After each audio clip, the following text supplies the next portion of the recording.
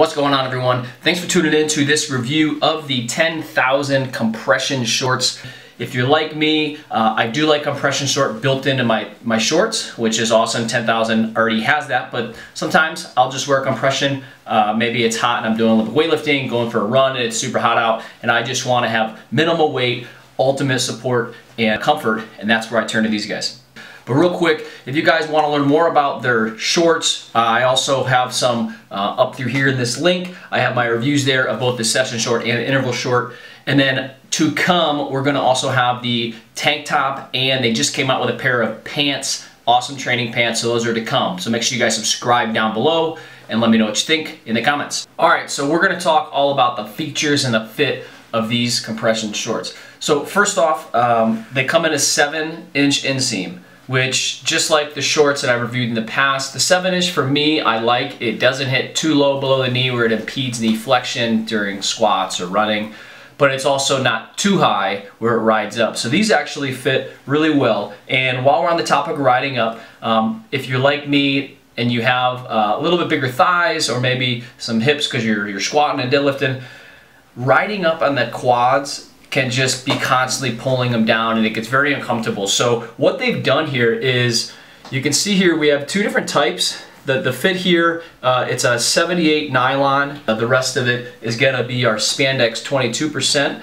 Um, but down here, it's a little different, it's a little more stretchy, a little more give. You can see on the inside, it's a little different of a material. And I noticed that's a big game changer with not riding up on my quads. And it's just for the comfort, it doesn't feel like it's cutting it off the circulation um, with it not being too tight. So if we move our weight up, there's a lot of cool features that standard compression might not have. When we're looking at this here, we have the seven inch, the waistband, it's got a nice uh, some give to it, but it also is still pretty rigid and firm. And it's got a pretty good, I would say about a one inch uh, band there. So it's not too thin where it, it's gonna slip down. I've worn uh, compression before and maybe you have too, where it just slides right down the hips and you're showing some cracks. So that's a no-go for me um, and these fit that bill.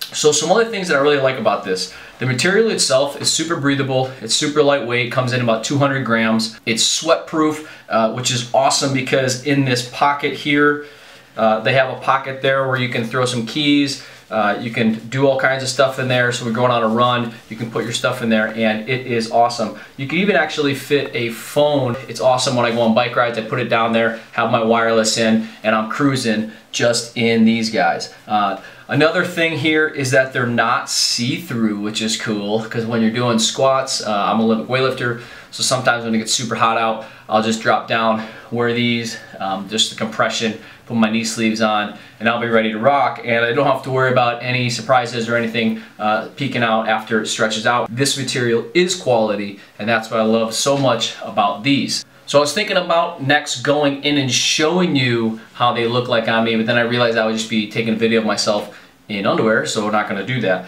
Um, so what I am going to do is I'm going to just put these on here, do some nice uh, just modeling it here, and show you where the fit is on the thighs and on the hips.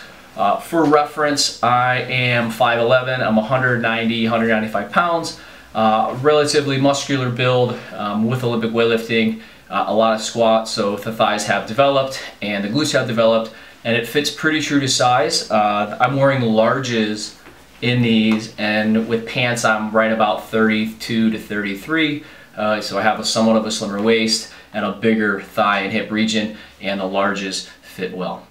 Alright guys, so that is the review. It was a short one today about the compression short 7 inch inseam from 10,000. Here's what I love about them. They are durable, they're comfortable, they keep you cool, and they give you the support you need without being too heavy. I also like the fact that they do have some little pockets there to store stuff if you're on a bike ride or a run. I wear those as my main layer, but they're also low profile enough that you can wear them underneath shorts and then you can strip them away if you're gonna hit the platform and you wanna lift just in the tights. Honestly, they're so comfortable. Sometimes I wear them as regular underwear. So make sure you guys check them out. You can use the code the Barbell CEO and you can save 20% off online as well as on the other things. So make sure you guys check out their shorts and their tank tops and their pants, which a review will be coming soon. Thanks again, guys.